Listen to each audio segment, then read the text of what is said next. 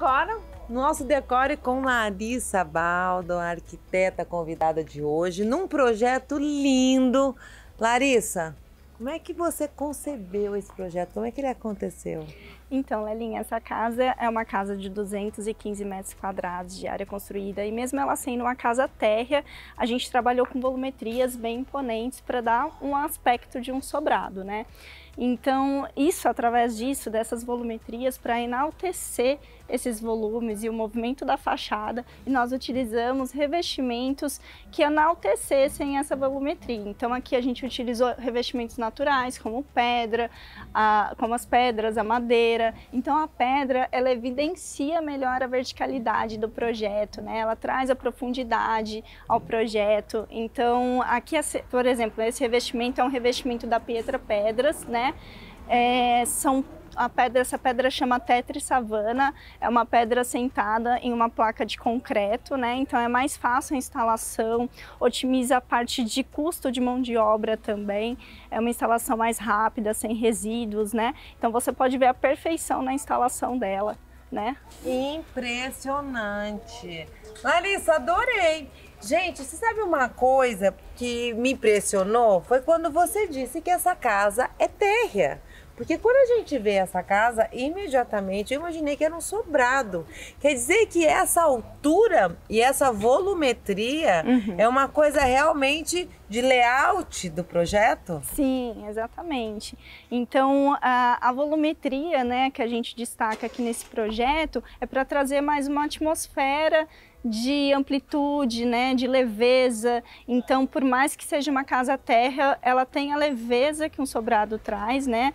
com as suas características, o pé direito alto, os vidros altos que valorizam a iluminação na área interna da casa. Então tudo isso é, foi pensado em conjunto, né? É, agregando os vários elementos arquitetônicos aqui que deixaram a casa com essa atmosfera perfeita. É verdade, ficou perfeita. Agora, você sabe o que eu adorei também? Foi o modelo que você trouxe dessas pedras, porque nós já tínhamos visto lá na Pietra, uhum. na Galeria de Pedras, estas placas. Uhum. E realmente, lá na loja, quando a gente vê, a gente nota essa praticidade que traz. E aqui a gente vê na obra, uhum. ela é instalada Quer dizer, a paginação dela fica perfeita, né? Porque é só vir e colocar as placas e a paginação já está toda pronta, não tem problema, inclusive de rejunte, nada Sim, disso. Sim, exatamente. É só chegar e assentar. E é fácil, porque o acabamento ele fica perfeito dessa forma, porque o pedreiro vem e corta a placa na maquita, então deixa o acabamento mais fino e mais perfeito.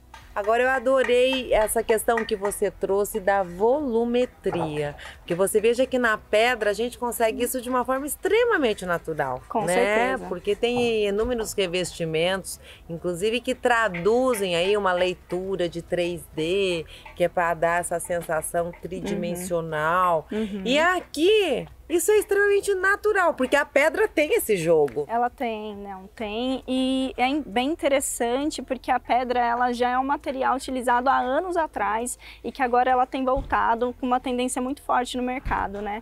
E é bem mais interessante o fato de que algumas empresas acabam utilizando, às vezes aplicado em porcelanato, que imitam a pedra, mas nada melhor do que comparado com a própria pedra. Né? Então hoje eles, eles fazem essas estratégias que é, facilitam a execução disso na obra.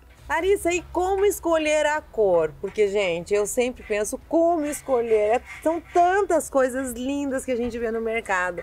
E essas pedras, por exemplo, tem a, a pedra que deste tom, tem aquela que vai mais para um acinzentado, uhum. para o preto. A gente vê que você também tem itens na fachada em preto, mas você não escolheu preto e cinza. Como é que você escolheu essa cor e por quê?